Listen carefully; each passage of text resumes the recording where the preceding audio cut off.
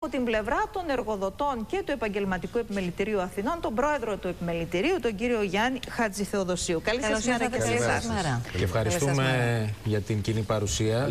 Για, όχι, θέλαμε, κύριε Νεφελούδη και κύριε Θεοδοσίου, να μας δώσετε λίγο τα φώτα σας μέσα από μια συζήτηση, γιατί υπάρχουν και αντιδράσεις ότι μόνο μέρος δεν μπορεί να αυξηθεί ο κατώτατος μισθός.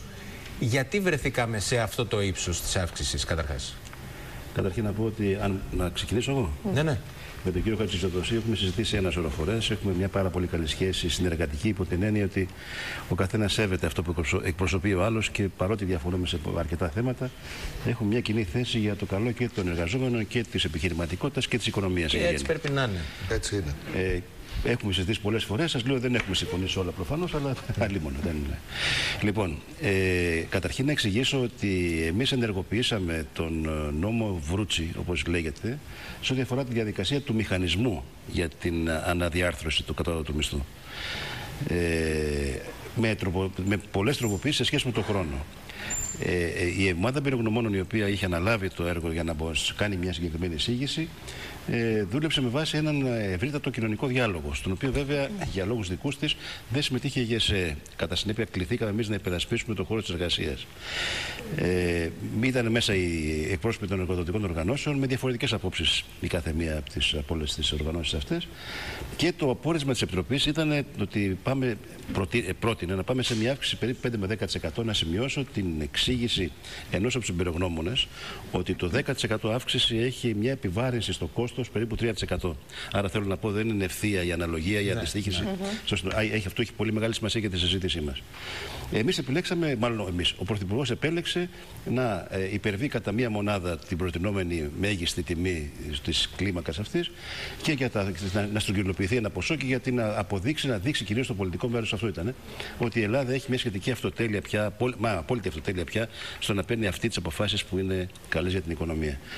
Ε, και βεβαίως στα πλαίσια αυτά, για να μην το, το, το έχετε πει πολλές φορές κι εσείς και έτσι είναι, καταργήθηκε παράλληλα με αυτό καταργήθηκε αυτό το έσχος, το ρατσιστικό έσχος με τους μισθούς της νέας γενιάς. Καλά, που μιλάτε για το κατώτατο, υποκατώτατο ε, τώρα. Ναι, δεν το συζητάμε. Αυτή ήταν, αυτή ήταν η λογική. Και να επισημάνω ότι ναι. ήταν ε, ένα μέρος πολύ σημαντικό μιας βεντάλιας από θέματα που έχουμε ανοίξει για το θέμα της επαναφοράς της κανονικότητας στο τομέα ναι. της αγοράς εργασίας. Κύριε Νεφελούδη, για να περάσουμε και στον κύριο Χατζιαδοσίου, ε, δεν ξέρω κατά πόσο σε αυτό το πλαίσιο είχατε σκεφτεί και αυτό που θα μας πει τώρα ο κ. Χατζηθεοδοσίου, δηλαδή τις ασφαλιστικές και τις φορολογικές επιβαρύνσεις, κύριε Χατζηθεοδοσίου. Εσείς, σαν επαγγελτήριο, ήσασταν από τους πρώτους που ήσασταν θετικός για την αύξηση του κατώτατου μισθού, όμως παράλληλα επισημαίνατε και αυτό το κομμάτι για τις επιχειρήσεις. Πριν από ένα Πώς θα λειτουργήσει δηλαδή; Είχαμε βγει πρώτοι σε όλη τη χώρα από τα επιμελητήρια, δηλαδή από τους εκπροσώπου των εργοδοτών και είπαμε, ζητήσαμε να φτάσει ο μισθός στα 751 ευρώ. Και να εξηγήσω, οι μικρομεσαίες επιχειρήσεις έχουν πολύ μεγάλο συμφέρον να υπάρχουν αξιοπρεπείς μισθοί. Είχαμε πει μάλιστα, δεν ξέρουμε καμιά χώρα προηγμένη που να έχει μισθούς πείνας. Και βεβαίως διαφωνούσαμε και με τον υποκάτωτο μισθό, γιατί ουσιαστικά όταν αυξάνονται οι μισθοί, αυξάνεται η κατανάλωση. Άρα είναι προς των επιχειρήσεων. Όταν όμως το ΑΕΠ από το 2009 τα 245 δις έχει πάει στα 185 δις, δηλαδή η αγορά δεν έχει μεγαλώσει και προσθέτει ένα κόστος το οποίο φτάνει περίπου τις 2.000 ευρώ στην επιχείρηση των 2-3 ατόμων. Προσέξτε, γιατί ε, εδώ γίνεται το λάθος.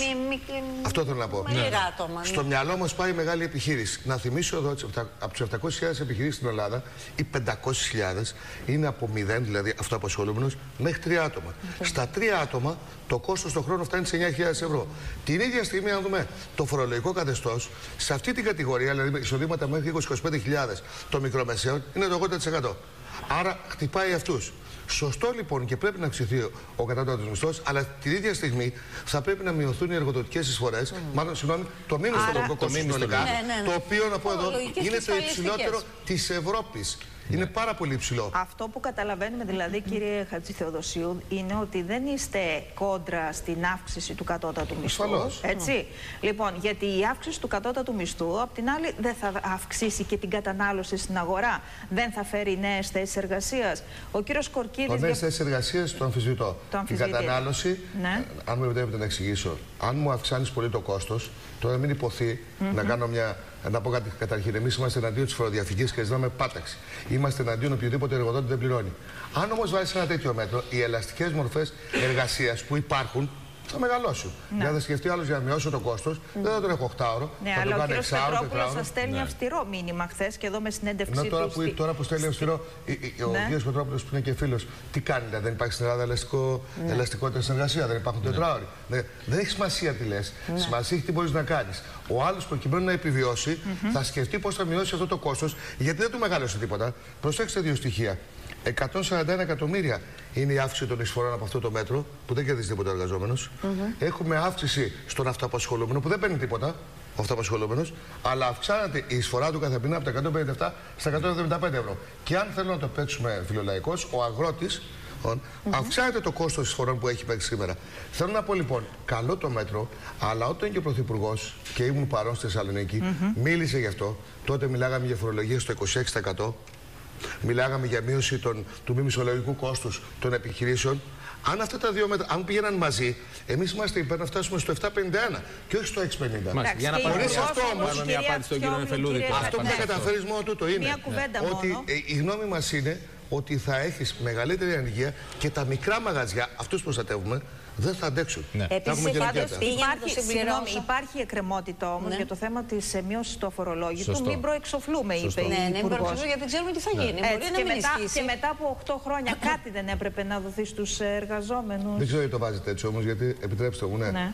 Μα ξαναλέω για προστή φορά. Εμείς βγήκαμε πρώτοι και είπαμε να το δώσουμε. Ναι. Όταν δίνεις κάτι, ναι. επιτρέψτε μου την λαϊκή παροιμία, δεν κάνεις με, με ξένα κόλλημα μνημόσυνο αφαιρείς και ε, μέρος από το κόστος ναι. και το δίνει. Αν δεν αφαιρείς, μου προσθέτεις κόστος.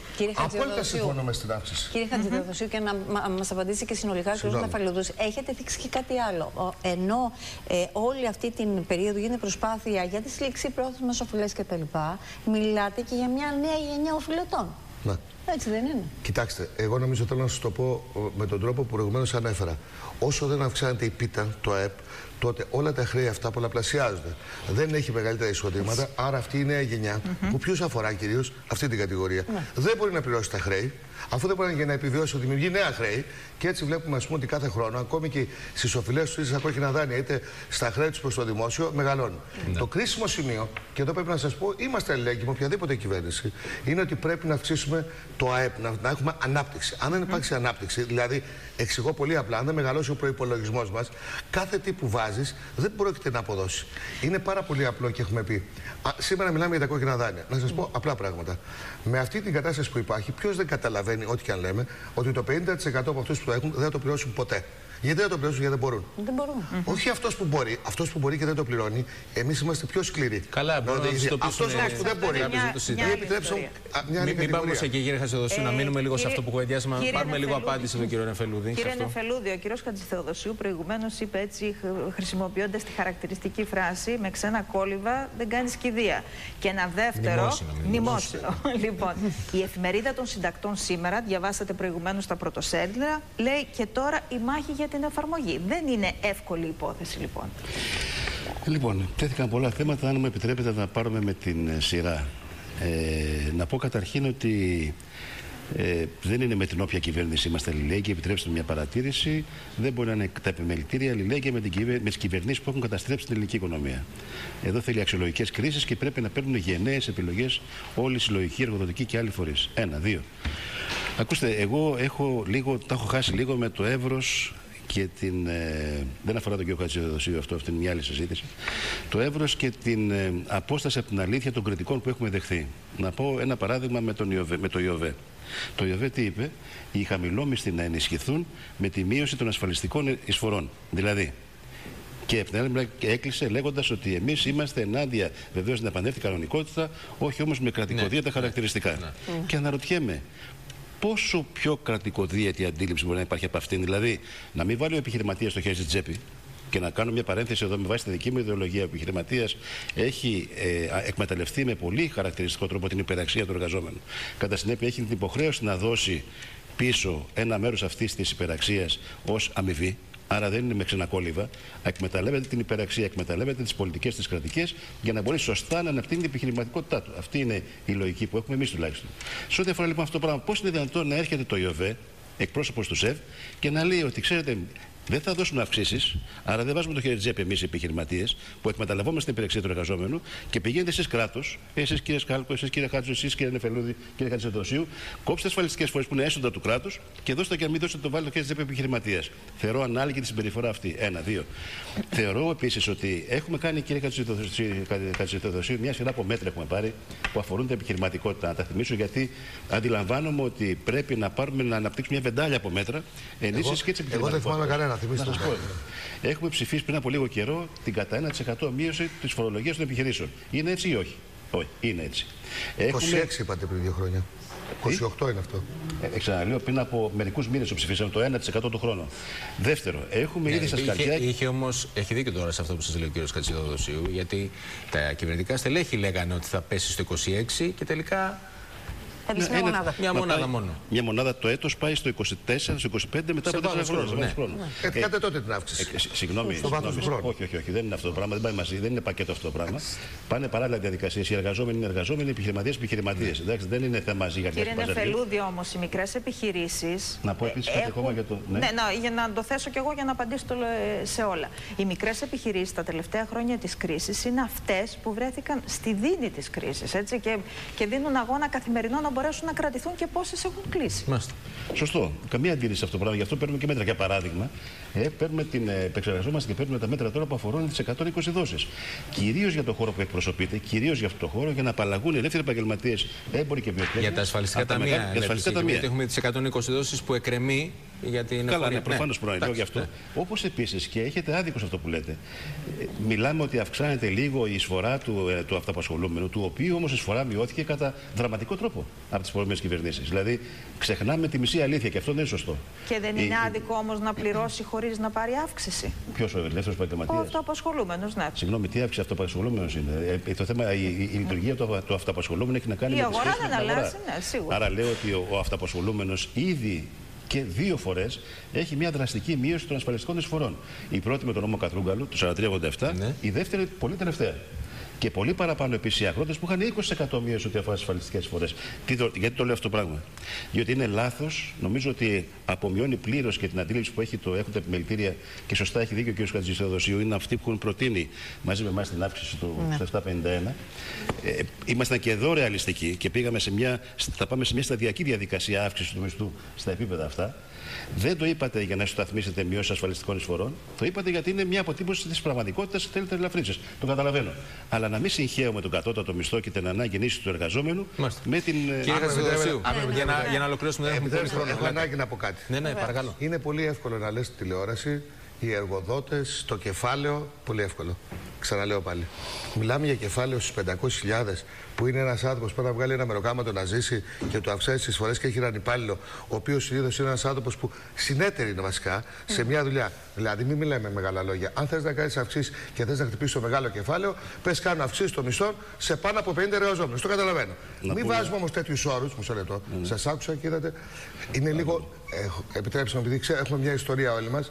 Όταν λες 500.000 που είναι αυτός που μεροκαματιάζει, μεροκαματιάζει και το λέμε επιχειρηματία, και λέμε τώρα ο εργοδότης που του πίνει το αίμα του εργαζόμενου, συγγνώμη, το θεωρώ αστείο. Για να καταλαβαίνόμαστε. Άρα σε αυτόν τι σας λέω. Κάνε μια προσπάθεια να επιβιώσει, γιατί αν δεν επιβιώσει, θα είναι χειρότερος στο κεφάλι σου πόνος όταν θα πρέπει να το συντηρήσεις την ενεργεία. Άρα, όταν του βάζεις σκληρότερα μέτρα, δεν θα επιβιώσει. Αλλά να ξεχωρίσουμε. Μην λέμε τώρα εργοδοσία. Μικρομεσαίες επιχειρήσεις εργοδοσία είναι μεγάλη κουβέντα. Δεν μιλάμε για μεγάλες μιλάμε για απλές επιχειρήσεις. των συνθηκών του επιχειρήν. Ακριβώς. Και, και προσέξτε, όταν είπα είμαστε αλληλέγγυοι, εμείς δεν, δεν καταλαβαίνουμε ποια κυβέρνηση είναι. Εμείς με οποιαδήποτε κυβέρνηση αυξάνει. Δηλαδή, διαχρονικά το έχετε, έχετε τοποθετήσει αυτό, ναι. κύριε Σουσού, και εσείς και τα υπόλοιπα επιμελητήρια. Μια τελευταία κουβέντα, κύριε Νεφελού, για να ολοκληρώσουμε, παρακαλώ. Αν με επιτρέπετε, ε, όσοι έχουν αντιρρήσει σε αυτή τη διαδικασία της αύξησης, μιλώντας καθαρά όμως, το αν συμφωνούμε ή όχι, πρέπει να ανατρέξουν και στο site του Υπουργείου Εργασίας για τις μεγάλες επιχειρήσεις. Να δουν τι αναρτημένες όλες τι επιχειρησιακές συμβάσεις, γι' αυτό κάνει λάθος ο κ. Κατζηστοδοσίου με τα παράπονά του, όλες τι επιχειρησιακές συμβάσεις των μεγάλων επιχειρήσεων, που είναι πάνω από 50 άτομα. Εκεί το 751 είναι χαμηλός μισθός. Μάλιστα. Εντάξει. Θέλω να πω, δηλαδή η αγορά είναι κάτι Απλά διαφορετικό. Αυτό που περιγράφεται. Οι μικρέ επιχειρήσεις έχουν ήδη προτείνει. Οι μικρέ επιχειρήσεις ήδη έχουν προτείνει το 751. Πρακτικά, πρακτικά κύριε Νεφελούδη, ο εργοδότης πρέπει να κάνει κάποια αναγγελία και κάποια αλλαγή στη σύμβαση τώρα Κοιτάξτε με τον τώρα, το πιο σημαντικό από όλα, γιατί μας τρώει αυτή η ναι. κουβέντα, εν πάση περιπτώσει, το ότι αν είναι καλό κακό, πολύ καλό μέρο. Μέτρο ήταν και βοηθητικό. Πρέπει να εφαρμοστεί. Ε, το καθήκον το δικό μας τώρα είναι να μπορέσουμε να πάρουμε τα μέτρα τα αναγκαία με το ΣΕΠΕ, έτσι ώστε αυτό το μέτρο να εφαρμοστεί απαρέγκλητα. Mm. Ενημερώνω ότι η παράβαση της μη δήλωσης του νέου μισθού είναι, 10, είναι υψηλή παράβαση, να το πω με την ακρίβεια που Πολύ υπάρχει. Καλά με τη, είναι, είναι υψηλή παράβαση που σημαίνει ότι ο επιθεωρητής μπορεί να βάλει το maximum του προστίμου 10.500 για κάθε έναν εργαζόμενο.